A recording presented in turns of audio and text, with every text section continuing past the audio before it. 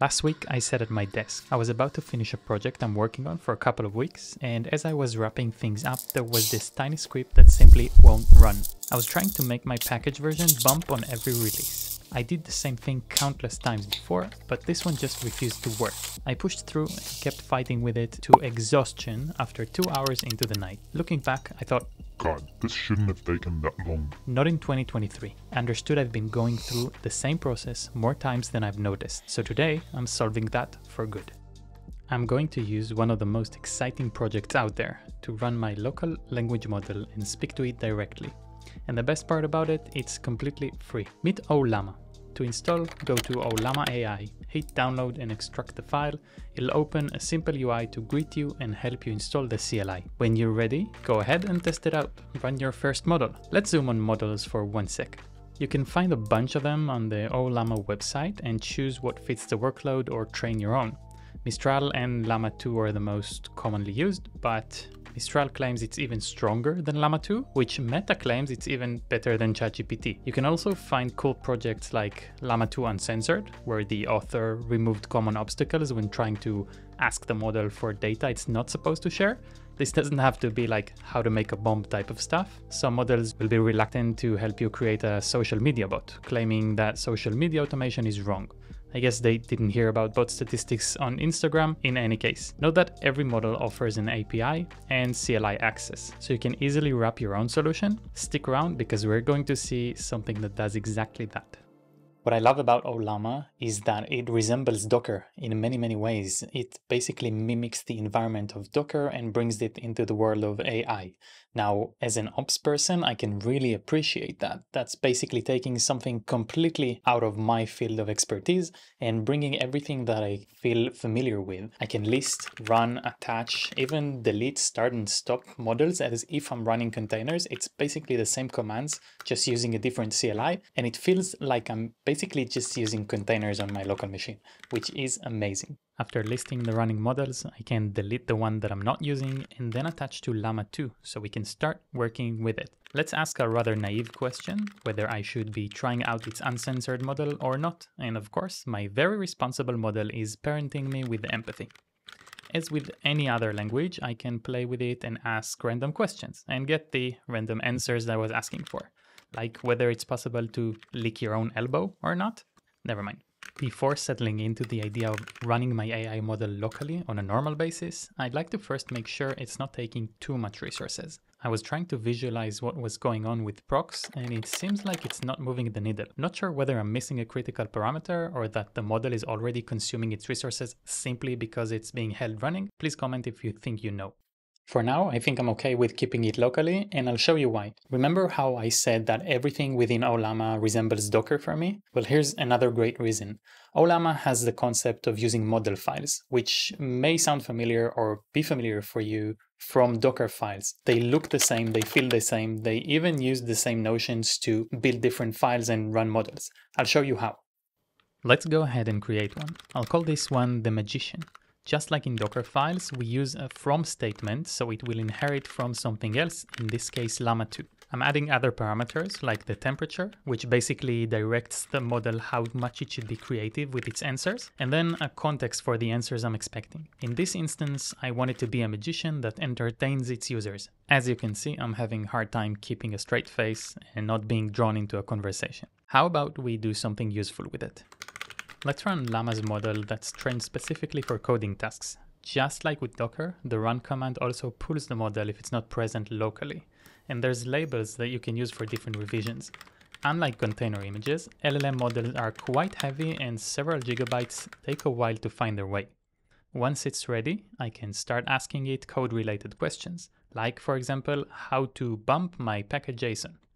Let's try the suggestion to know whether it's trustworthy. After bumping, I'll reload my package.json, and the version was indeed bumped to the next major v2.0. You can also see my Starship prompt now shows package and the updated version. If you want to learn more about Starship, click the video above.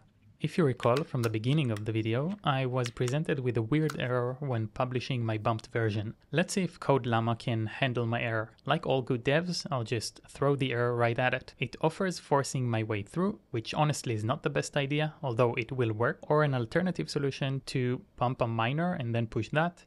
That's more like it. I don't know about you, but it feels like it's not quite smooth. David from Dev on Duty, shout out to David, I'll leave his channel below, he built a plugin called GenNVim and that's basically interacting with Ollama under the hood to provide answers or grab the context from within NeoVim and then offer the solutions back to my working space. To install GenNVim, I'll head over to my Lazy plugins list and add it. On my next NeoVim reload, Lazy takes care of the installation and the gen command is available to me with all the prompts baked into it. If you're unfamiliar with Lazy, check out the video above to learn more. We'll get into these options in a sec, but let's see how gen works beautifully with real context. Let's start simple by just writing one sentence, which I can then mark and send to gen to enhance my writing. Many of the prompts are configured to replace the original code slash text that's sent to them. So Gen replaces my line with its better wording.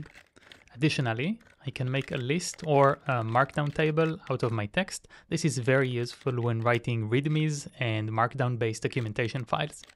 To make sure the table is markdown valid, I'll shoot it over to Glow to see how it's printed in my terminal. Looking good. I think we're ready to extend GenNVim with our own prompt, an actual useful one. So you can add just like this as many prompts as you want to suit daily requirements while working in NeoVim. To add a prompt, I start by telling my main plugins file that there's a new AI file to load. Check out my lazy plugin setup if you're interested in more on that. After that, I use the template from the GenNVim's plugin prompts file. I'll give it a title that will show up on my menu within NeoVim when we're done. The two other settings it has is the prompt, which we'll shortly provide, and replace equals true, which for the sake of example, I chose to leave on. For my prompt, I'll be using the nice example for a DevOps engineer from the Ollama model files library. I can grab the prompt used for its context and use it in my own setup. I'm adding a break line followed by dollar $text, which the plugin then interprets as a required input. Let's see this in action. I find my DevOps me command, and since we've mentioned it requires an input, then the plugin asks me for a prompt. I'd actually change the naming here as it's not really a prompt. The context was already given to it by the model. We just add an input that goes with it. Let's ask for a Terraform file that deploys Ollama in the cloud for us in case we want to run it elsewhere. The input line might need a break line or some UI fixes, but it takes my payload eventually. After some required cleanup of comments and explanations, I'm left with the code. And what can I tell you, CodeLlama isn't great with Terraform. Lots of either missing configuration or improvements it could have done better. For example, instead of forcing me to find an image for my instance, just bring something that's generally considered as best practice. I might have to train my own DevOps model eventually, we'll see. I'm going to give it another go with Mistral. This time I want to focus on having Ollama on the instance when it starts, so I'll rewrite my prompt to support that. And sure enough, Mistral comes back with a script that's embedded in the template. It could have been simpler, but this should work or at least provide a framework to work in, which is kind of nice to be honest. I think this is worth a spotlight. With DevOps, specifically when it comes to AI, prompts are everything. Whatever you provide, this is what the system knows. You can see the results. This just goes to say that nobody or no system is going to replace all engineers anytime soon. What you can be replaced with is another engineer that is making use of an AI correctly. As you can see, the output will never be perfect. As long as the model is not trained on your system, in your environment, and your routing and wiring and networking and everything that goes within your environment, you have to provide the context in which it works. You will still have to take the result and tweak it to your needs. I'm going back for CodeLlama for my last and best attempt by asking both a good solution for the image, including the script I got from Mistral. It's not perfect, and I do find myself having to combine the two for it to run. That said, it is deployable eventually with Terraform, and I did get a remote instance that I can log into and work with in the cloud. By the way, if you're interested in the Terraform example code to deploy your own, please comment below and I'll share a good one that works with best practices and batteries included as far as accessing the instance and the model API goes. Ollama works great as is, but as with many thriving communities, there's quite a few projects you want to check out.